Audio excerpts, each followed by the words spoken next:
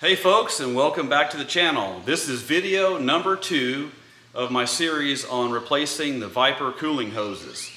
So this particular video is going to address doing your heater core hoses and that's going to encompass everything off the block back up to the heater core. And uh, my first intention when I was going to do these videos was I was going to do it top to bottom, the full, you know, rad hoses, heater core hoses, and then dive into refilling and bleeding the system of air. But truthfully, this is about an eight hour job on your first time out. So that's a little bit much to swallow uh, on a YouTube channel at one time. So I'm gonna break it into these three individual segments to make it a little easier. And everything you see is as it was done. So the only edits you have is my occasional stroll to and from the tool chest, to and from my wash sink, and the occasional four letter expletive that comes out when I bang something, especially my head on the hood. But other than that, it's straight up as you see it. Enjoy. Let's go number two. So now we got to take off the windshield wipers in this cowl so we can get to the these two hoses behind the engine here.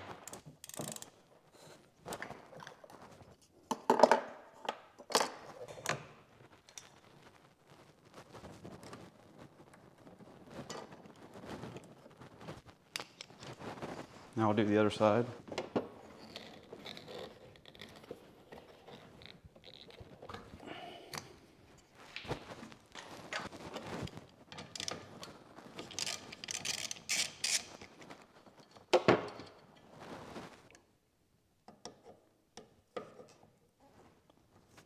There we go. All right. And now we're going to remove the cowl. We're going to pop one door to get this far screw out over here on this side.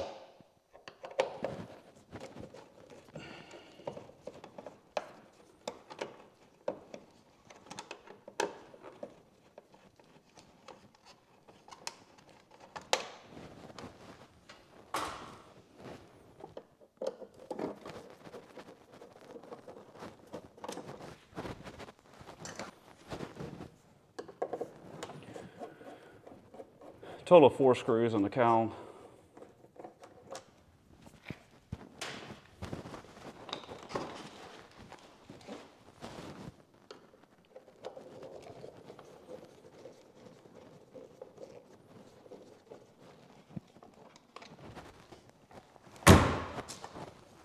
Okay.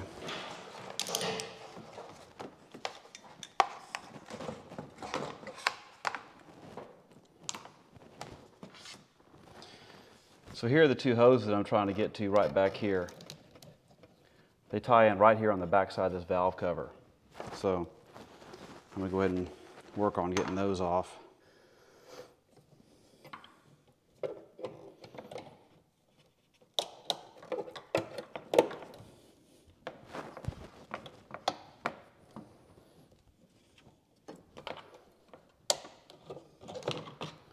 Let me bring you in here and kind of show you what we're gonna do. Okay, here are the two hoses right here. This is number one, and there's number two that we gotta get. And they come right back here to the heater core.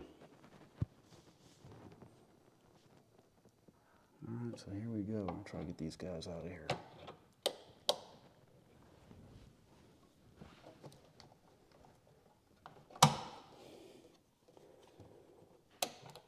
Okay.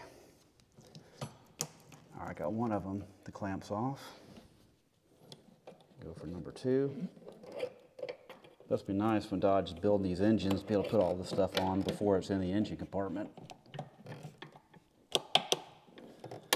Okay, there's number two. So I got the clamps loose.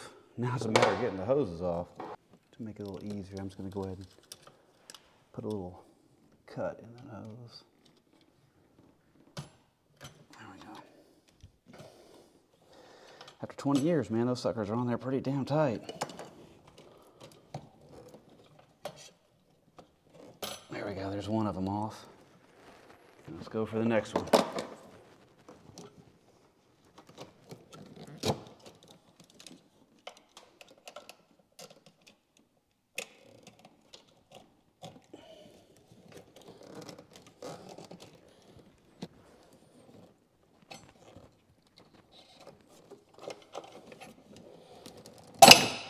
There we go. There's number two. All right, let's get those clamps off there.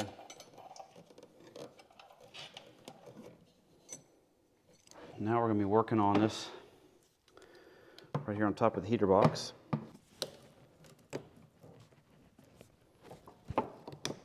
There we go.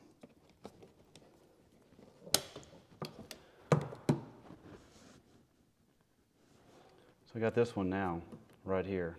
Now we're to dive into these others two here have like a pinch connection fitting there that I'm to have to cut off. I'll get the last one over here with the clamp. So I'm to try to get this one here. Get it turned where I can get my tool on it.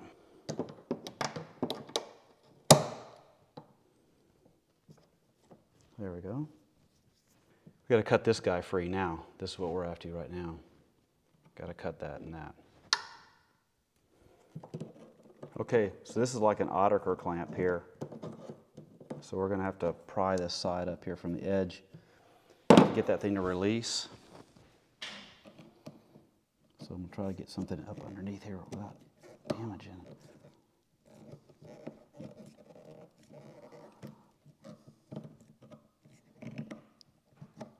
It's held in place by that one little tooth right there. There we go.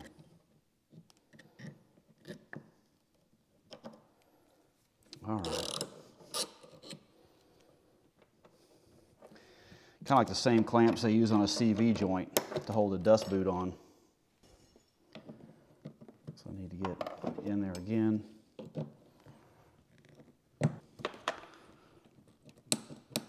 There we go.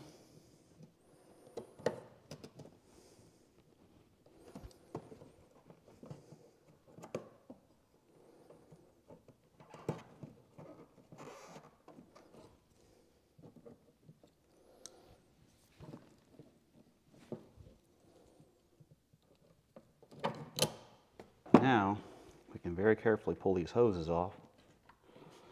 Ooh, a little bit of coolant there. And if it gives me any static, I'm just going to cut it off.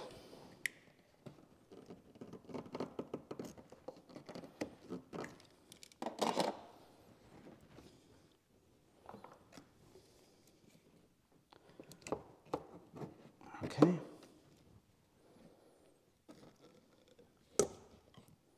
There we go. That one's off.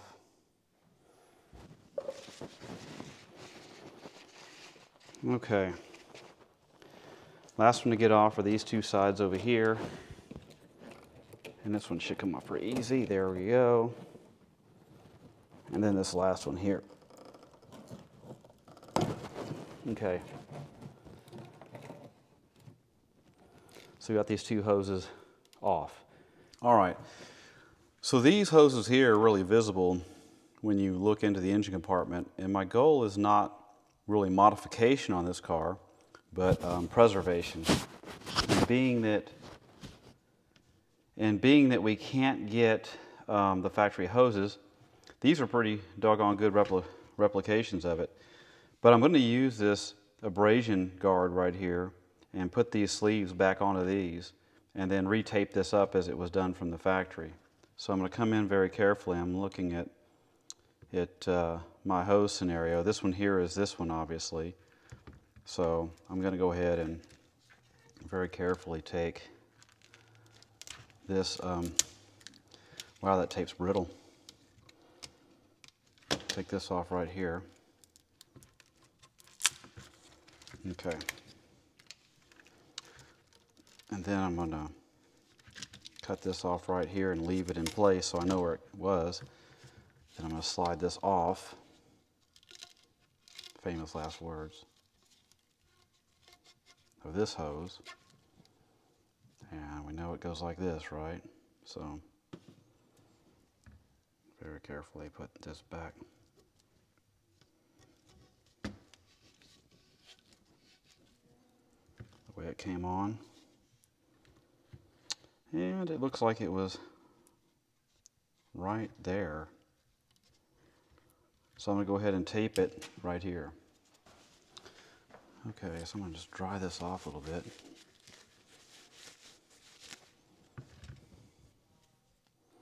So then I've got a little bit of 3M tape here. So I'm going to go ahead and tape this on here like this.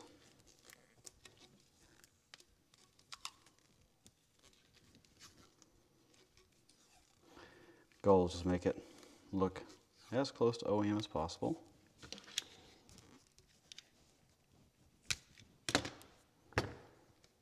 There we go. It looks like this side was actually taped at one time, but it just came off, so I'm gonna go ahead and tape that as well. Man, I got coolant on everything here.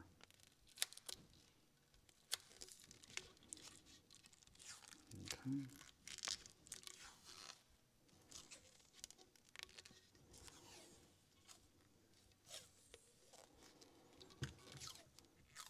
I think this is there to protect it from abrasion from the windshield wiper motor that sits right underneath it. Okay.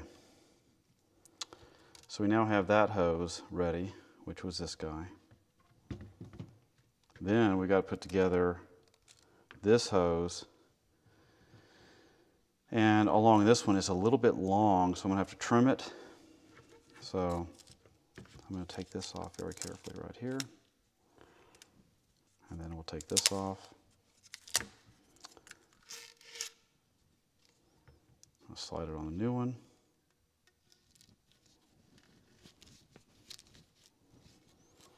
I'm looking right here at where it was. Looks like right here. So it looks like it's coming in right like this. So I'm going to go ahead and tape this one here. And then we'll tape this up like this. And then we will cut the pipe to fit.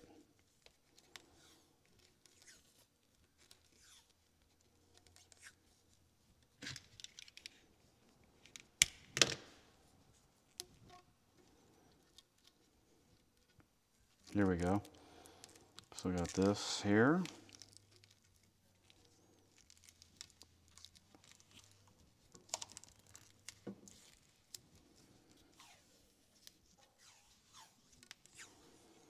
Okay. Okay, now we got it to the right location. We're going to go ahead and look at the tube as far as the, what we need to do as far as cutting it. So it looks like probably some the vicinity right there. Pretty tight bend. I'm probably going to cut this one on the car.